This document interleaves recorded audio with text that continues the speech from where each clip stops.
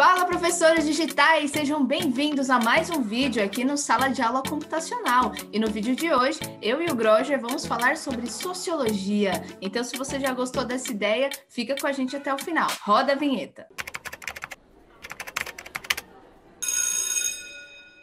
A relação entre o humano de hoje e o humano de tempos atrás é um pouco diferente por conta da tecnologia. Então, hoje a gente se preocupa muito mais com o que a gente coloca em uma rede social, a gente se preocupa muito mais com Sim. até mesmo um único tweet ali, porque pode acabar causando uma repercussão muito alta, tanto em política, religião. E sociologia tem um pouco, tem um pouco não, tem muito a ver com isso, né? Como que a gente, o ser humano, se comporta em relação a uma comunidade, em relação à nossa comunicação, no, à nossa interatividade. Então, hoje a nossa interação mudou. Hoje é totalmente tecnológica, né? Ainda mais com a pandemia. Com a pandemia, a gente acabou é, fazendo com que as nossas relações sociais fossem totalmente virtuais. Isso não acontece só por conta da pandemia. A pandemia só ali cresceu o número, mas de alguns anos para cá, a gente se preocupa muito com dados, ou seja, com o que eu publico, com o que o público pode influenciar um terceiro, ou o que o público pode causar ali alguma discussão. Os impactos da sociologia com a tecnologia tem muito a ver com algoritmos, se você vê a grosso Real. modo, porque são os algoritmos que estão ali é, em um site, é, pegando seus dados, dados coletando esses, esses seus dados, eles, no final das contas, vão ali te recomendar é, e te sugerir algumas opções para depois naquela, naquela plataforma, naquele sistema, você clicar, selecionar, se comunicar de certa forma com alguém. Isso tudo tem a ver com dados, tecnologia, algoritmos, inteligência artificial. Nossa, ótimo. E quando a gente fala do computador, a gente sempre fala que ele auxilia na nossa tomada de decisão, que um algoritmo é na verdade, uma sequência de passos para resolver os problemas, só que nem tudo é tão zero e um, né? Nem tudo é tão binário assim. Eu acho que é aí que entra a sociologia. Eu acho que nunca a gente precisou tanto desse estudo, né? Porque a gente não consegue pedir para o computador tomar decisões, muitas vezes, com base em sim ou não, com é ou não é, falso, verdadeiro, né? A, a, a, questão dos humanos, de nós humanos, ela é muito abstrata, assim, ela, ela a gente tem uma empatia que a máquina nunca vai ter, né? Então a gente cada vez mais, até para tomada de decisão, até onde o computador pode decidir por nós ou não, acho que a gente nunca precisou tanto discutir sociologia na tecnologia. É, o objetivo da máquina, a grosso modo, é ajudar na tomada de decisões. Você tem ali um conjunto de dados. Esse conjunto de dados vai te ajudar a analisar ali se você, por exemplo, naquele dia vai levar um guarda-chuva ou não. Então, no final das contas, a decisão é humana o, a inteligência artificial falou: olha, vai chover, leva um guarda-chuva. Eu posso falar: não, eu não quero levar um guarda-chuva. Só quem usa guarda-chuva é quem veste roxo hoje. E eu tô com vinho. Não, eu tô com roxo. mas, para você entender isso, é que a decisão sempre está no lado humano.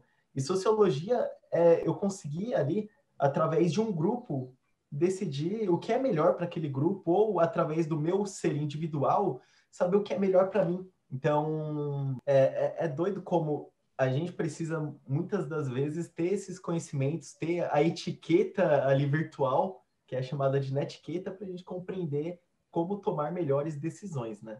É, eu acho que isso envolve até ética, moral, sociologia, fi filosofia, né? Porque a, a, até que ponto a gente pode tomar decisões? Até que, até que ponto eu posso programar essa decisão para o computador ou não? Né? A gente pega, por exemplo, os nossos pais, a geração deles, né? Eles é, foram criados em uma situação onde não existia essa coisa de, ah, vou mandar um WhatsApp, né? Eles conversavam, era muito comum essa conversa frente a frente, olho no olho.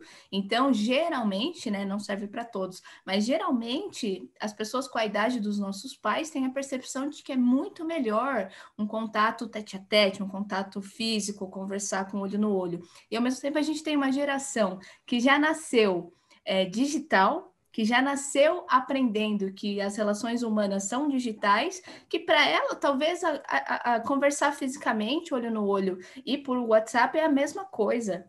Né? Então, olha como a nossa sociedade tem mudado em relação, inclusive, a essas percepções, né? Pegando gancho, é, no nosso cotidiano, a gente está acostumado a utilizar a internet todos os dias. A gente está ali mexendo no WhatsApp, como você disse, a gente está ali mexendo no Twitter. Eu uso bastante Twitter para ler notícia, muitas das vezes para ver ali é, até meme, eu acabo vendo no Twitter, mas a gente usa Instagram, beleza. É muita concentração de dados. Uma área que concentra todos esses dados de estudo é chamada de Big Data. Então, eu tenho ali Big Data que é um grande conjunto de dados, e através dessa técnica é analisado isso, toda, todo esse conjunto de dados, para no final é, levantar alguns questionamentos. Putz, é, naquela plataforma que aquele conjunto de pessoas usa que foi coletado esses dados. A gente vai mandar algum questionário político? Isso já aconteceu muitas vezes.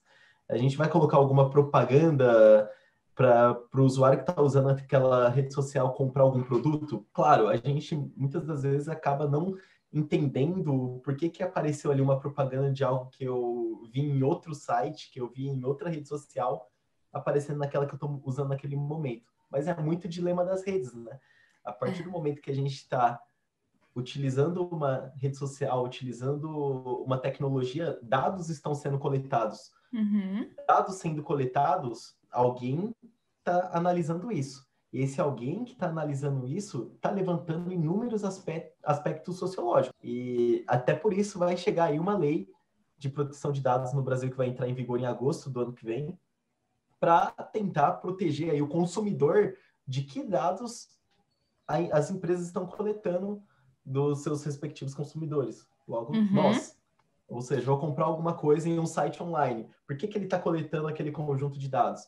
É, para é, é, pertinente à minha compra? Isso vai ser de valor à minha compra ou vai ter um, um, uma coisa a mais ali para depois eles fazerem alguma pesquisa ou algo do tipo?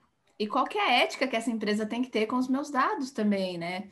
Então, eu Sim. acho que a lei, a LGPD, é, acho que foi um ótimo ponto que você falou, é justamente essa definição do limite da privacidade, né? Muitas vezes a gente consome aplicativos, tem aqueles termos e condições, né, que a gente só aceita, muitas vezes a gente não lê, mas às vezes ali a empresa está dizendo que ela vai manipular os seus dados, vai vender para alguém, aí depois você fica recebendo e-mail, né? Nossa, eu nunca me cadastrei nisso. Muitas vezes são essas empresas que acabam vendendo os nossos dados, né?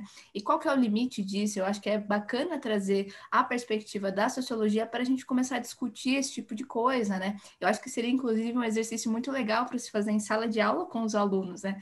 Imagina a gente, a gente propor um debate, a professora vai, coloca a galera em círculo, pessoal, vamos discutir. É, será que as máquinas vão dominar os humanos, né? Eu acho que é bacana Sim, a gente é, começar é um a pensar. Debate.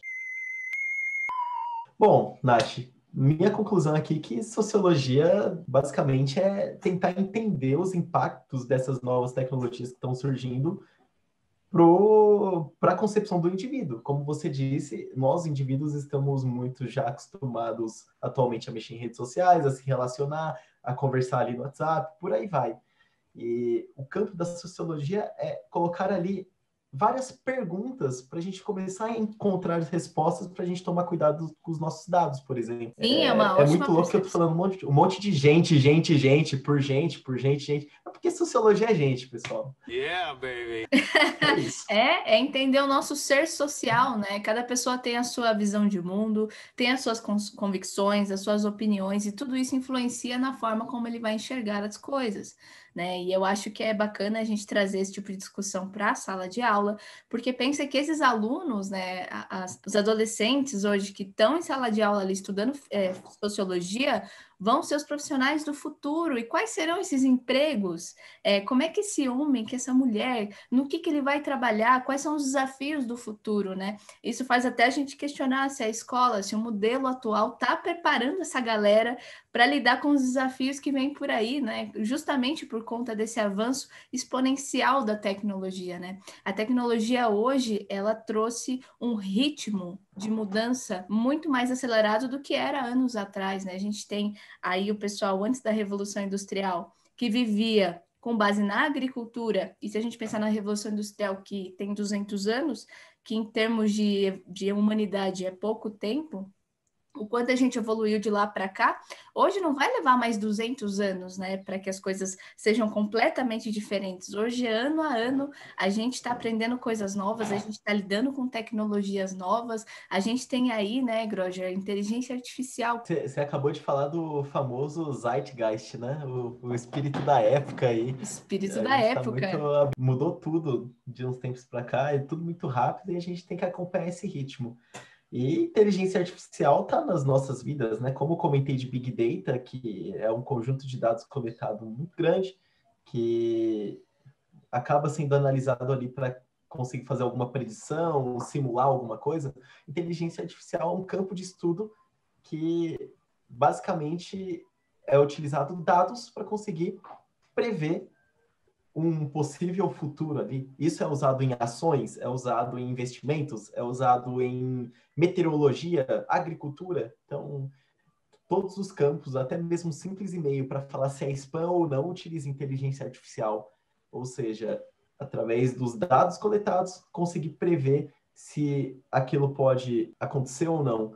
E isso é utilizado em diversos campos, para robôs, para carros autônomos, para é, reconhecimento de fala, a gente está mexendo em muitas aplicações que possuem essas tecnologias de reconhecimento de fala, de assistentes virtuais, de chatbot, e a sociologia está envolvida nisso para tentar tornar mais humano essas tecnologias também. Hoje eu ligo lá para um atendimento lá para melhorar minha internet que estava caindo direto aí esses dias. Aí uhum. é um bot que me atende, alô, tudo bem? E aí eu tenho que falar com o bot, e o bot ele tem toda a sua etiqueta, tem a forma humana ali de se comportar até me mandar para um atendente. Mas será que sociologia está envolvida nisso? Até nas palavras de um bot? Porque é comportamento. E pelo que eu saiba, sociologia, um dos seus estudos é o estudo do comportamento. Então. Perfeito. A gente vê as máquinas. é uma coisa que envolve, né? Total, a gente vê as máquinas começando a, a, a serem programadas para imitar, né, como que a gente interage, né, para observar como que é a nossa interação humana e eles reprodu reproduzem isso. É muito louco pensar, né, que a gente possa ter esse nível de tecnologia. E aí muitas pessoas se assustam, dizendo que no futuro, né, é, as máquinas vão dominar, a gente vai ficar por baixo, a gente vai ser liderado por, por máquinas. Tem até um livro muito bom que, né, que a gente gosta, que é Eu, Robô, que conta justamente, eu tenho né? Esse livro, muito eu bom. tenho também. é, e esse livro fala, né? Você, você votaria num político robô? É muito louco, né? Aí, professor, professora, escreve isso na lousa, deixa os alunos escreverem. Eu acho que é uma ótima percepção, né? E a gente até falando de pensamento computacional, a gente tem uma das etapas ali que é reconhecimento de padrões. A gente pode trazer isso para compor uma discussão, para compor é, uma redação de sociologia, né? Alunos, tentem reconhecer os padrões do, do passado, tentem reconhecer o que a gente está vivendo, tentem projetar como, como é que será que a nossa sociedade vai estar tá daqui a 15, 20 anos, né? E fazer e com perceba, que eles comecem a, a pensar sobre isso, né? Os robôs estão mudando totalmente aí a forma como amamos, como nos relacionamos, como trabalhamos, como Sim. vivemos. Eu acho que a nossa pergunta está errada, né? Não é sobre se os computadores, os robôs vão tirar os empregos. É mais como eu preparo esse jovem, esse adolescente que está hoje na sala de aula para se adaptar a essa nova realidade, né? Porque a gente não vai fugir da inteligência artificial, né? E do avanço da tecnologia. É, é, é a sociologia perguntar o que, que a gente precisa ensinar, o que, que a gente precisa formar e preparar esse jovem para que ele tenha é, totais capacidades e habilidades para poder trabalhar nesse futuro, né? E se a gente pensar na, na, principal característica que nós humanos temos em relação à máquina, é a empatia, é essa percepção é, de viver em sociedade que uma máquina nunca vai saber, né? Criatividade, né? Nós somos muito criativos, muito criativos. A gente sabe criar coisas, a gente tem essa capacidade. O jogo de cintura o jogo de cintura, vamos dizer assim, né? A gente tem é, é, essa criatividade que nos ajuda a, a, a, tomar decisões melhores, a criar possibilidades que não existem, né? Então, eu acho que é mais nisso que a gente deveria focar e não essa preocupação se o, as máquinas vão tirar um emprego. É como eu me adapto, quais são as minhas capacidades que eu preciso desenvolver para que eu consiga caber nesse universo. E é por isso, meu amigo Roger, que a gente está falando sobre a importância do pensamento computacional. É um primeiro e ótimo caminho, você não acha? Perfeito, Nath. Precisamos aprender para conseguir é. discutir. Exato. Total. Precisamos estudar. Então é isso, né, Groger? Muito obrigada pelo vídeo de hoje, obrigada pela sua participação. Eu que agradeço a sua participação, Natália. Esse foi o vídeo de hoje, pessoal. Muito obrigada se você chegou até aqui. Obrigada pela participação e pelos comentários. Se você gostou, não esquece de deixar um like, se inscreve aqui no canal da Mastertech se você não for inscrito e não se esqueça de conhecer o nosso curso de programação ao lápis, é de pensamento computacional específico para professores, ok? Tá aqui na descrição do vídeo. E se você for um professor ou uma professora que precisa de bolsa, entra lá e se inscreve para o nosso programa de bolsas. Assim você tem a chance de participar da nossa próxima turma que vai acontecer em fevereiro do ano que vem, ok? Um beijo para vocês e até o próximo vídeo.